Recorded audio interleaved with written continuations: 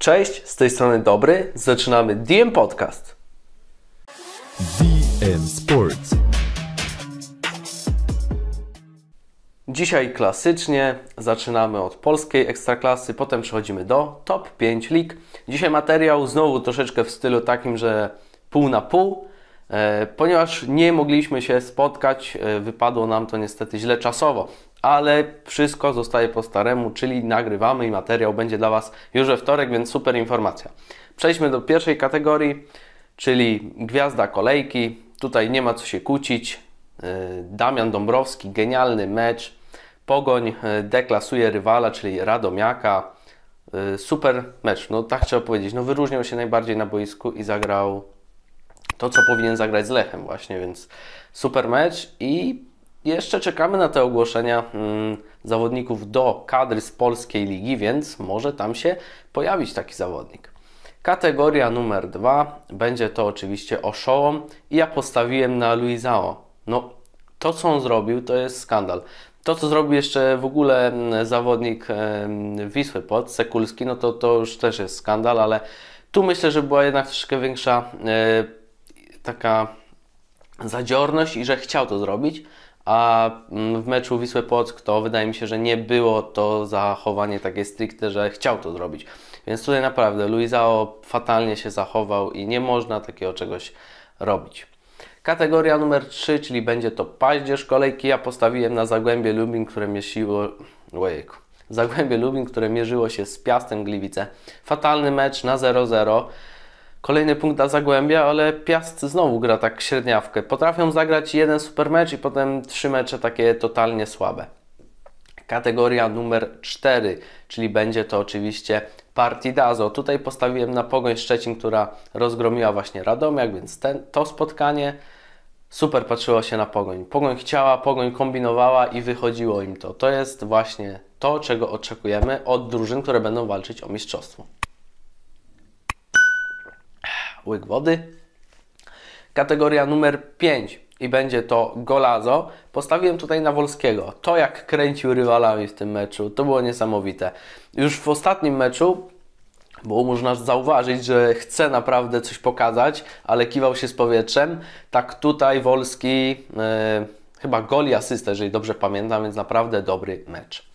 E, Kategoria numer 6. Tutaj nie mam stricte zawodnika, bo postawiłbym znowu na e, właśnie Kamińskiego z Wisły Płock, ale nie postawię na niego chyba kolejny raz, bo nie miał stricte takich super interwencji. Miał jedną naprawdę genialną, ale nie chcę cały czas go wyróżniać, bo to był trzeci raz z rzędu, a nikt inny jakoś mega nie zaimponował, więc tutaj pozostałem takie puste okienko. Możecie na dole w komentarzu napisać, kogo Wy byście dali w kategorii numer 6.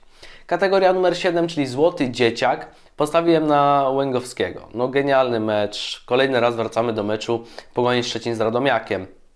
E, super granie, tutaj asysta, tutaj brameczka jeszcze, więc super mecz tego młodego zawodnika i fajnie się rozwija i ciekawe, czy to nie będzie kolejna taka perełka właśnie z Akademii Pogoni Szczecin. Kategoria numer 8, Viral. Nie mam tutaj nikogo. Nie mam. Viral, wiraż? Kurczę, cały czas nie pamiętam, jak się ta kategoria nazywa. Nie mam, po prostu nie było chyba żadnego takiego zachowania, takiej sytuacji, która gdzieś jakoś wpadłaby nam w oko i moglibyśmy się z niej pośmiać, czy też e, jakoś e, zniesmaczyć nawet, no bo wiemy, że to są takie rzeczy, które mają się wkręcić, gdzieś tam będą się pokazywały. Ok, no i przejdźmy do jedenastki wspaniałych. Mm, Ustawienie tutaj to jest 1, zaraz Wam powiem jak ja to wymyśliłem, 1, 4, 4, 2, czyli klasyczne. I mamy tak, w bramce Duszan Kuciak, bardzo dobry mecz i Lechia remisuje, ale on pomógł, pomógł, żeby w ogóle ten remis był, bo mogli jakoś przegrać z tą Wisłą, która naprawdę jest słaba obecnie i to trzeba zaznaczyć. I mam nadzieję, że Lech nie odwali jakieś maniany zaraz w meczu z nimi. Dalej, obrońcy. Od prawej Jakub Bartolewski, w środku Petraszek Niewulic, czyli ten duet, który nie dał Lechowi strzelić żadnej bramki w Poznaniu. Na prawej stronie Luis Mata, bardzo dobre spotkanie tego zawodnika też. I jedziemy sobie teraz środkiem pomocy, czyli tu mamy kolejnych czterech zawodników. Damian Dąbrowski, genialny mecz. Rafał Wolski, bardzo dobry mecz. Szwoch, który naprawdę potrafi mieć takie mecze, że gdzieś błyśnie, pokaże nam się, więc jest tu, jest tu i Szwoch. I Łęgowski, tak jak mówiłem, bardzo dobre spotkanie. I przed nimi dwójka napastników, Iwi Lopez oraz Podolski. I Gnioty, tutaj mamy już ustawienie 1, 4, 3, 2-1 można powiedzieć, albo po prostu 1-4-3-3. Więc tak, bramce Majchrowicz, bardzo słaby mecz tego zawodnika. Totalnie, to w ogóle jak on chciał bronić, nie rzucał się, tylko gdzieś nogę wystawiał. Nie miał czucia w ogóle jakby w tym meczu. Yy, czwórka obrońców teraz. Yy, I zacznijmy tak. Yy, będą to obrońcy, nie będę tutaj kłamał, będą to obrońcy głównie E, drużyny Śląska Wrocław za ten mecz z Legią, bo jeżeli przegrywasz z tak fatalnie grającą Legią, to ty musisz być bardzo fatalny, albo jeszcze bardziej w ogóle fatalny od Legii. E, Sztiglec, Werdaska, Gola, e, Janasik, przepraszam, i przed nimi Kelstrom, Hrapek, Luizao, tak jak mówiłem, fatalnie on grał. Kalszum też strasznie elektryczny i popełniał dużo błędów. I Kolejnych dwóch zawodników, Amaral, Welde, bardzo, bardzo słabo weszli w mecz w Poznaniu. Źle na to się patrzyło. Amaralowi cały czas gdzieś odskakiwała piłka. Welde to nic praktycznie nie zrobił. A przed nimi potężny yy, Parzyszek. I dlaczego go umieszczam? Drużyna wygrywa 4-0. Czemu umieszczam Parzyszka? Dlatego, że on powinien strzelić chociaż coś z tych bramek, no bo kurczę, no albo jesteś napastnikiem, który łapie brameczki, albo nie. A wyglądało, że będzie takim zawodnikiem, który będzie potrafił wcisnąć tam chociaż jedną, co, co dwie, trzy kolejki, że coś tam wsadzi, no ale nie. Witam Was bardzo serdecznie. Powracam po krótkiej nieobecności, już troszeczkę jest lepiej, jeżeli chodzi o zdrowie i można wrócić do piłki, do tego, co kochamy najbardziej. Więc e, przejdźmy może do omówienia który pewnie też zajmie się dobry. Także lecimy. Gwiazda kolejki, u mnie Rafał Wolski. Myślałem również nad Lukasem Podolskim, było bardzo dobre spotkanie. Natomiast Rafał Wolski w meczu z Górnikiem Łęczna zachowywał się niczym Ronaldinho. No myślę, że niektórzy z pomocników zespołu zwierzęcznej dalej uważają, że to jakieś e, nieprawdopodobne, jak e, grał ten zawodnik. To było brazylijska magia, też ta bramka na 3 do 0 no świetnie wszedł pomiędzy kilku zawodników, dograł piłkę na pustą bramkę tak naprawdę do Łukasza Sakulskiego, jeśli dobrze pamiętam. No i świetne zawody. Mi się najbardziej chyba podobał w tej kolejce. Lukas Podolski też na plus, aczkolwiek no najbardziej ten Rafał Wolski mi zaimponował świetnym występem. Też ogólnie Wisła Płock bardzo dobrze się zaprezentowała. Mm, dalej, Oszołom. Mm, tutaj Łukasz Sekulski za bandycki troszeczkę moim zdaniem atak, ten w drugiej połowie na czerwoną kartkę. Powiedzmy sobie szczerze, y, na pierwszy rzut oka również nie zauważyłem. E, tak jak sędzia, myślałem, że to po prostu był atak typowo na piłkę. Nie patrzyłem już, gdzie ta noga poszła dalej. Natomiast po tym y, kontakcie z piłką ewidentnie bardzo wysoko uniesiona noga. Też atak na wyprostowanej nodze nie była ona zgięta. No i tutaj ewidentnie należała się czerwona kartka i nominacja do Oszołoma w tym wypadku. Paździerz kolejki e, Zagłębie, Lubiń, e, Piast Gliwice.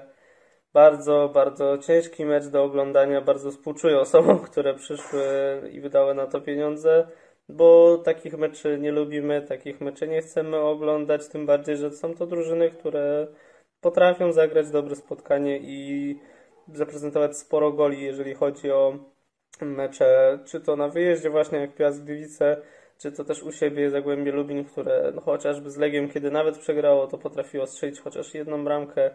Swoje też traciło, ale no to dodawało trochę pikanterii i emocji ostatecznie do tego spotkania. Yy, Okej. Okay. Mm, mecz kolejki, czyli te partidazą można powiedzieć.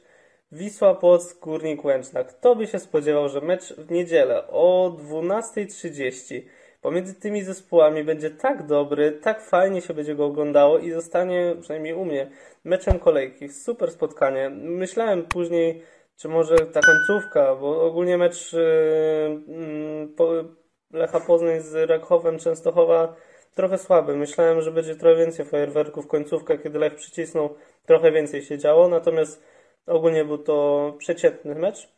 Dlatego wybrałem właśnie Wisłę Płock z Górnikiem Łęczna, bo super się to oglądało. Naprawdę muszę powiedzieć, że jestem mega zadowolony, że poświęciłem się o tej 12.30, odpaliłem ten mecz i obejrzałem go naprawdę z bardzo szerokimi ustami, że tak powiem, z uśmiechem i wypiekami, bo naprawdę fajnie się to oglądało. Jedna i druga drużyna gra dobrze. Nawet ten górnik Łęczna, który ostatecznie przegrał, do końca tworzył sobie sytuację i walczył o to, żeby chociaż punkt wywieźć z Płocka.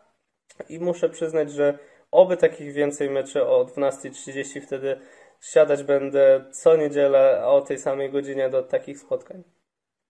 Gola za kolejki, Lukas Podolski, bramka na 3 do 0 E, bardzo ładnie rozegrana już sama akcja, strzał jeszcze w wykonaniu Lukasa, no to bajka po prostu, uderzenie w górny narożnik bramki z taką siłą, że Niemczycki no, nie miał kompletnie szans przy tym, e, przy tym uderzeniu. Widać było już jak się rzuca, że ma ją poza zasięgiem kompletnie.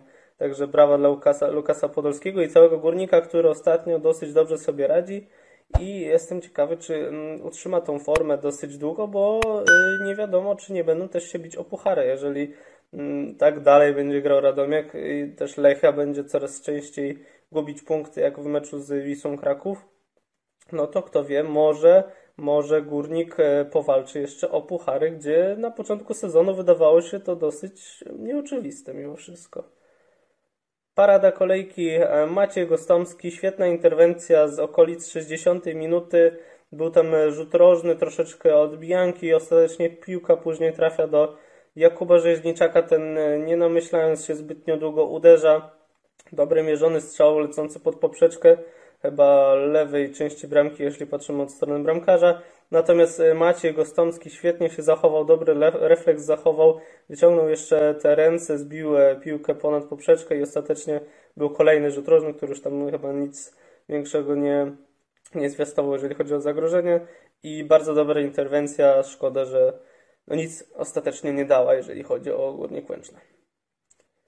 Gwiazda, teraz gwiazda, co ja gadam za gwiazda. Teraz nasz e, złoty dzieciak, czyli najlepszy młodzieżowiec. Tutaj postawiłem na Miłosza Matysika. Ciężko było z tymi młodzieżowcami w tej kolejce.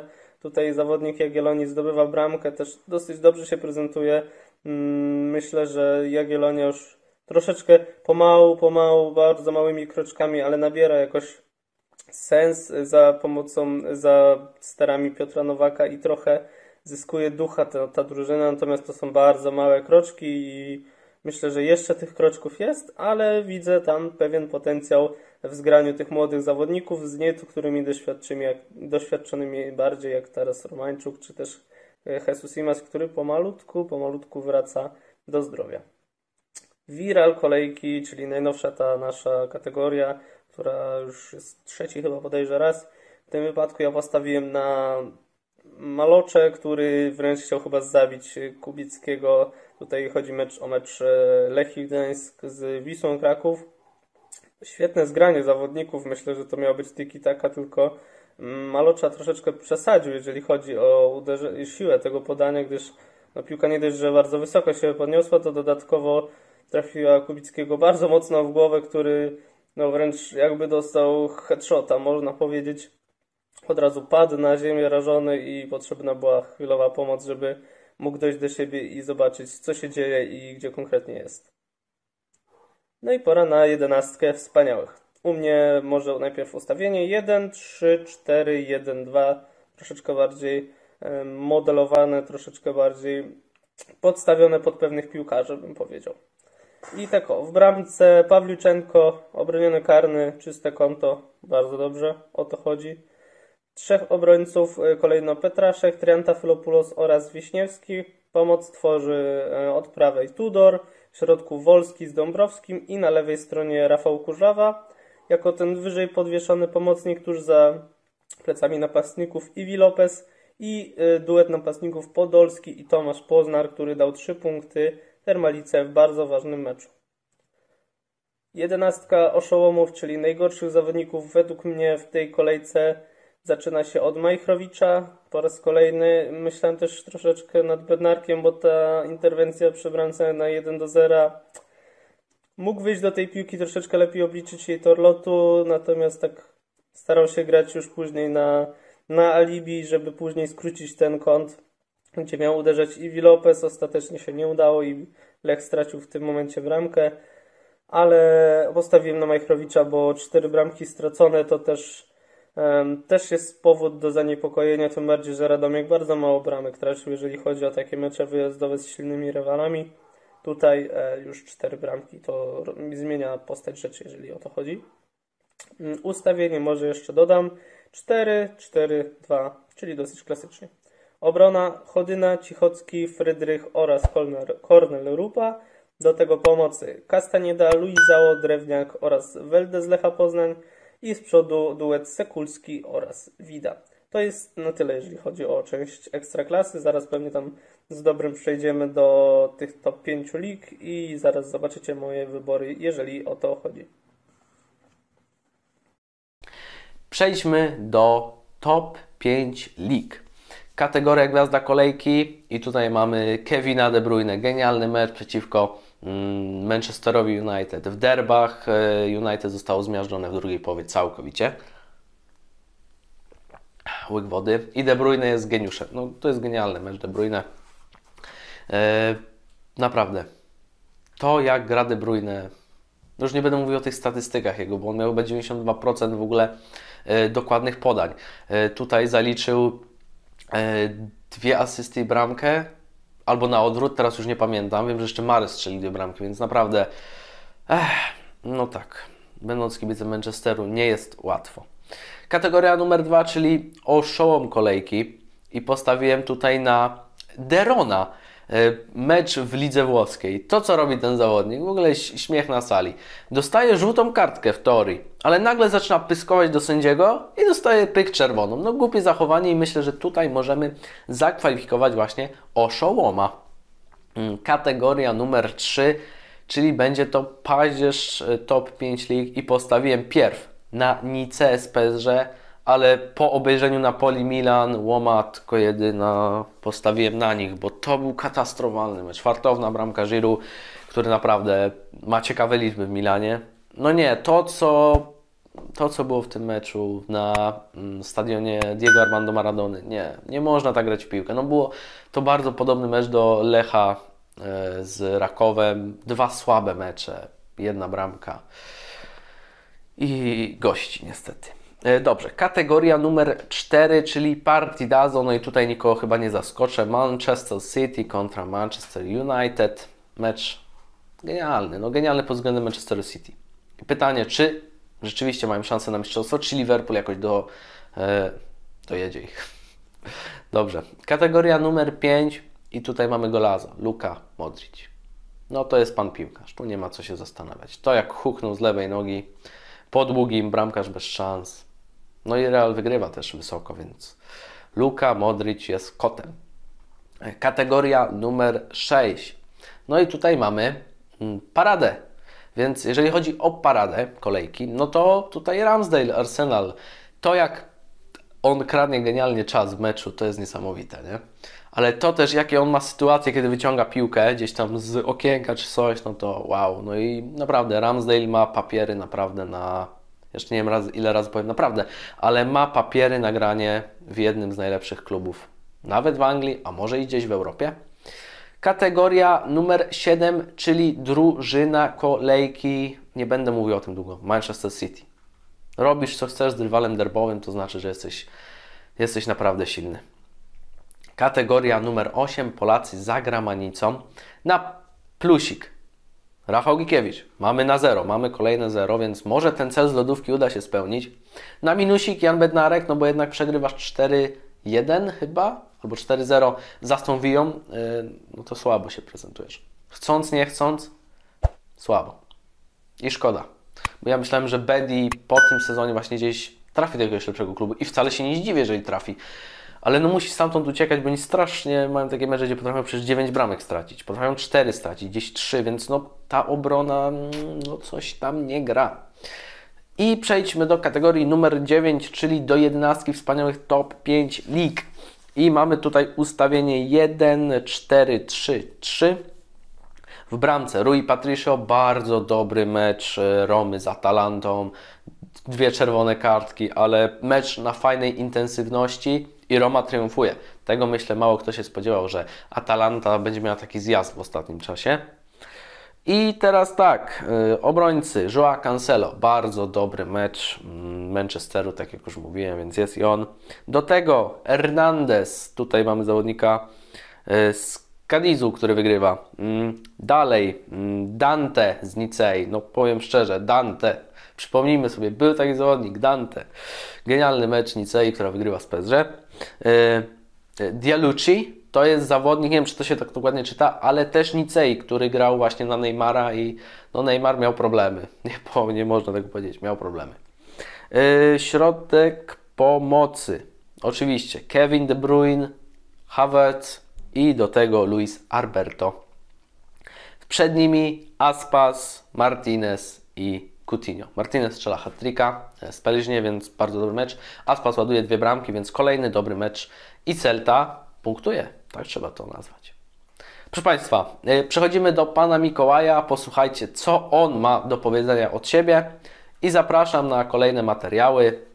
Trzymajcie się, cześć.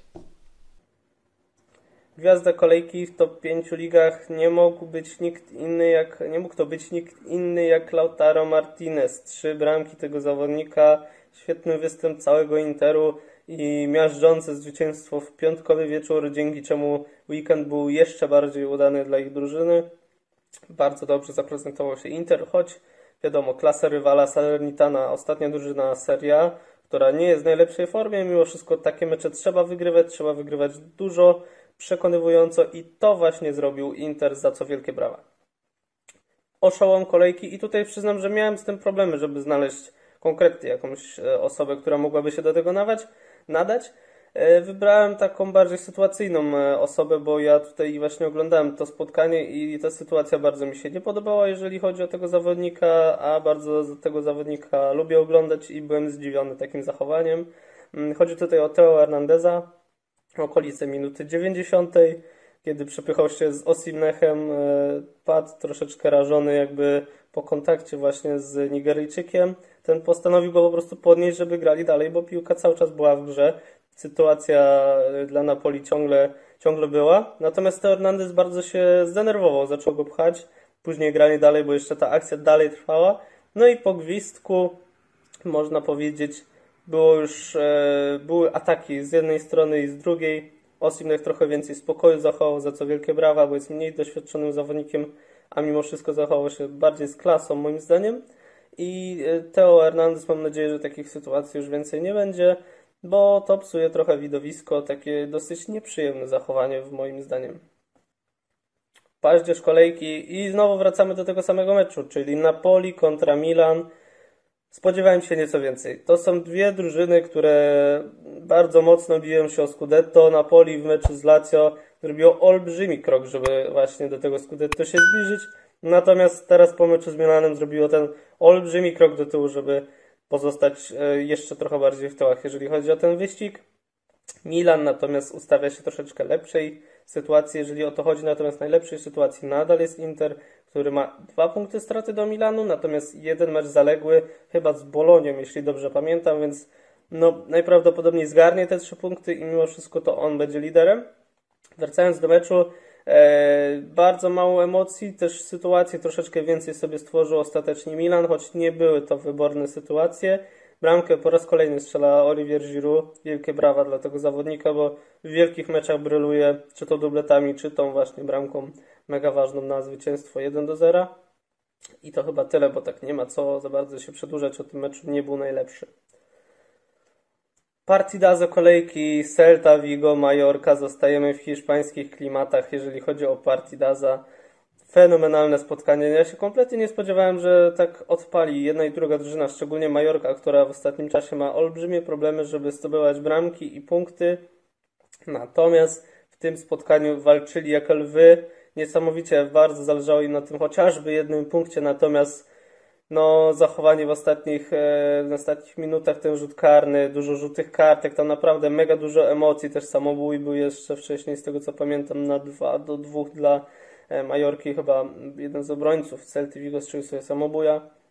No i Jago Aspas, e, jak na kapitana przystało, utrzymał to w ryzach drużynę, zdobył trzy punkty tym strzałem z rzutu karnego, choć nie był to moim zdaniem najlepiej strzelony rzut karny, ale bramkę zdobył. i ostatecznie Celta wygrywa 4 do 3. Świetne spotkanie na Balaidos i mam nadzieję, że Majorka utrzyma ten poziom i w następnych meczach też będzie takim poziomie grać. Ok, pora na golazo, jeżeli chodzi o top 5. Tutaj Cucho Hernandez, piękna bramka, Watford kontra Arsenal, bramka na 1 do 1, też świetny mecz trzeba przyznać. Nie spodziewałem się, że aż tak Watford dobrze zagra, chociaż w defensywie nie było najlepiej, bo te bramki, jakie zdobywał Arsenal, trochę były właśnie z winy piłkarzy Watfordu, szczególnie bramka na 2 do 1. Ta bramka na 3 do 1 też tak szybko wtrącę, świetnie rozegrany, dosłownie drużynowo od Mikela Artety, tak, od Mikela Artety, który szybko pomógł w wznowieniu autu, do ostatecznego Gabriela Martinelliego, który wykończył to pięknym strzałem w górny róg bramki. Natomiast ta bramka, jeżeli chodzi o e, Watford, to jest bramka na 1 do 1. Kuczo Hernandeza, piękne nożyce, też dośrodkowanie z prawej części boiska, bez kompletnie żadnych szans. Aaron Ramsdale, piękna bramka, niestety ostatecznie za dużo nie dała, bo no jeszcze Musa Sissoko coś wlał nadzieję mm, z serca fanów Watfordu, natomiast czasu zabrakło i Arsenal skoczył do top 4, mając mimo wszystko jeszcze dwa mecze zaległe. Najprawdopodobniej moim zdaniem to oni zajmą to ostatnie miejsce w top 4 premiowane awansem do Ligi Mistrzów. Parada kolejki w tym wypadku padło na Edgara Badie z Elche. Mecz Elche-Barcelona sytuacja z minuty bodajże 76, 75. E, bocznym sektorem boiska wbiegał Adama Traore, e, dośrodkował tak na wysokości właśnie myślę piszczeli, może też wyżej troszeczkę okolicy kolan do Ferrana Torresa, dobre dogranie, ten od razu nie namyślając się z pierwszego kontaktu uderza, natomiast Edgar Badia świetne, e, świetny refleks, szybka interwencja chyba nogami, jak dobrze widziałem, bo powtórek z tego niestety nie było. Świetna interwencja na linii, bardzo dobrze odbił tą piłkę. No, bardzo ładna interwencja, to trzeba sobie powiedzieć. I też Elche dobrze się broniło, natomiast zabrakło im trochę szczęścia. Barcelona już trochę słabiej niż w ostatnich meczach. Mimo wszystko trzy punkty wywozi z Elche i skakuje do top 3, tak już do top 3. Jeżeli chodzi o La Ligę z meczem zaległym z Rajo, który rozegra chyba 24 kwietnia, z tego co widziałem tam w terminarzu. Drużyna kolejki tutaj nie mogło być inaczej. Inter Mediolan. Pewne zwycięstwo 5 do 0. Rozgromili Salernitano, tak jak już wcześniej mówiłem. Bardzo ładnie się to oglądało. Wszyscy zawodnicy z Interu grali na bardzo wysokim poziomie. Też Samir Handanowicz nie miał za bardzo dużo do roboty. No i to moim zdaniem w piątek można było sobie już e, przypisać tą drużynę do tych, którzy jak najbardziej zasługują na miano tej drużyny kolejki. Polacy za granicą. Tak jest, moi drodzy. Tym wypadku mamy tutaj duet plus-minus. Nie ma dwóch plusów ani dwóch minusów. E, na plus Wojciech Szczęsny, kolejne czyste konto, już 11 w tym sezonie. Po tym początku dosyć niemrawym Wojtek wraca na właściwe tory. Pokazuje, że on jak najbardziej zasługuje na to, by bronić dostępu do bramki Starej Damy i kilka interwencji, które uratowały właśnie Juventus w meczu ze Specją na bardzo wysokim poziomie. Wielkie brawa dla Wojtka, bo mam nadzieję, że taki poziom utrzyma do tych następnych meczy. Też Liga Mistrzów się zbliża, no i po malutku też baraże, których sytuacja jest bardzo dosyć napięta przez konflikt na wschodzie, jeżeli chodzi o nasz, nasz kraj. I do tego minus, jeżeli chodzi o mnie, Robert Lewandowski. Robert jest pod formą. Moim zdaniem zdecydowanie, choć czasami coś gdzieś strzeli, to, no to nie jest ten sam Robert, który był w tym, załóżmy, 2020, gdzie ładował wszystko, w każdym miejscu się pokazywał, świetne odegrania, cały czas uczestniczył w rozgrywaniu tych akcji, brał na siebie sporą część gry i oddawał trochę pola właśnie Tomasowi Millerowi, czy też tym skrzydłowym. W tym meczu Robert kompletnie niewidoczny, szukający sobie gdzieś miejsca, ale no obrona po prostu go wciągnęła, już nie miał jak, jak się zaprezentować dobrze też y, uważam, że Bayern trochę słabo zagrał, bo no, niewiele zabrakło, a mogliby to spotkanie z Leverkusen przegrać. To też było całkiem, całkiem dobre spotkanie, jak na te e, najlepiej zapakowane, w sensie tym, że uważało się, że będą bardzo dobre. Ten mecz był akurat dobry, nie jakoś wybitny, ale dobry. Ostatecznie 1 do 1. Czy słusznie? Myślę, że może bardziej bym powiedział chyba nawet na Leverkusen, ale No 1 do 1 ostatecznie taki wynik padł i Bayern traci punkty u siebie na Allianz Arena, chociaż z takim przeciwnikiem to moim zdaniem żadna to jest sensacja. I pora na 11 wspaniałych w top 5 ostatniej kategorii, jeżeli o to chodzi. E, ustawienie 1, 4, 3, 3, tak jest, zgadza się. E, I lecimy. Od bramki Schmeichel świetnie się zachowywał kilka razy, uratował Leicester, które zdobyło bardzo ważne trzy punkty w kontekście gonienia troszeczkę tej góry stawki, choć oni są po środku, bo chyba tam 12 miejsce, no to nie ukrywajmy, to jest zdecydowanie nie taki sezon, jaki Leicester liczyło, bo e, myśleliśmy, przynajmniej ja myślałem, że do top 8, no chociażby na spokojnie, tutaj nie ma żadnych problemów, natomiast troszeczkę łączenie e, gry z europejskimi pucharami oraz ligą angielską i do tego te FA Cup, Carabao Cup, to im bardzo nie pomogło i ostatecznie na razie są na 13 miejscu, to była porażka, pierwsze zwycięstwo od bardzo dawna, jeżeli o to chodzi. I e, zobaczymy, czy to też się przełoży na następne spotkanie, jeżeli chodzi o ekipę Lisów. Na razie Schmeichel w bramce, jeżeli chodzi o 11 wspaniałych. Dalej w obronie Rhys James, Cabrera, Fabian Scher oraz Angelino, który jest w całkiem dobrej formie, strzela bramkę na 1 do 1, która ostatecznie daje e, jeden punkt w starciu z Freiburgiem, dzięki czemu e, Lipsk nie spada poza top 4. Freiburg nadal ma e, status quo, jest nadal status quo pomiędzy Freiburgiem a Lipskiem, ponieważ te drużyny bardzo blisko siebie są i walczą właśnie o te top 4, jeżeli chodzi o ten sezon. Pomoc Luka Modric, świetne spotkanie, wielkie brawa dla Chorwata. Roman Favre z Lyonu, nie Lucien Favre, Roman Favre z Lyonu, też dwie bramki, bardzo dobry występ. E, ogólnie Lyon całkiem nieźle zagrał jak na wyjazdowe spotkanie z Lorią. I Kevin De Bruyne, który był jedną z głównych gwiazd meczu Manchesteru City United. City pewnie wygrywa, chociaż myślę, że spora część osób się tego spodziewała po tym, jaki skład wystawił Ralf Ragnik.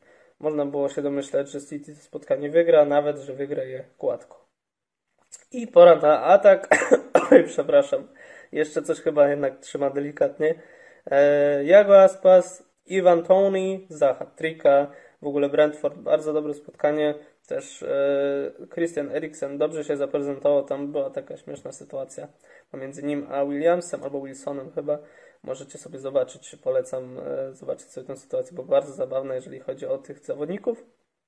I z przodu również Lautaro Martinez, gwiazda kolejki. Także to są moje wybory, jeżeli chodzi o top 5 i tą ekstraklasę. Mam nadzieję, że mm, zgadzacie się ze mną. Jeśli nie, to możecie śmiało wpisać w komentarzach, co Wam tutaj nie pasuje, gdzie co się nie zgadza, co jak Wy uważacie. Ja Wam bardzo dziękuję za ten miło spędzony czas. E, mam nadzieję, że już za tydzień spotkamy się w studio we dwójkę, bez pauz, cięć i domowych spotkań. Bardzo Wam dziękuję za oglądanie. Życzę Wam miłego tygodnia. Na razie. Cześć.